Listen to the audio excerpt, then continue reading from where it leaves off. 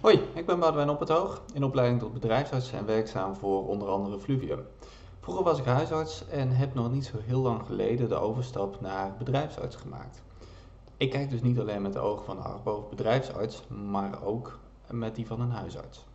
Jeroen en Loes hebben jullie al een aantal tips gegeven over hoe om te gaan met in deze moeilijke en rare tijden, dus die ga ik niet nog eens allemaal herhalen.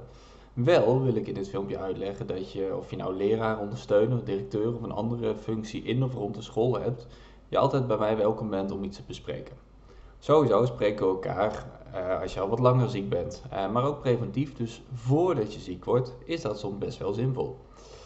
Bijvoorbeeld omdat je ergens mee zit, ergens vragen over hebt of gewoon even iets kwijt moet. Um, dan kun je dus bij mij terecht. Als je een afspraak wil maken daarvoor, dat gaat het gemakkelijkste via Loes. Haar gegevens vind je hieronder. Uh, en je ziet, ook ik werk uh, vooral vanuit huis. Uh, dat betekent dat onze contacten vooral via de telefoon of ehm, via een videoverbinding zullen plaatsvinden.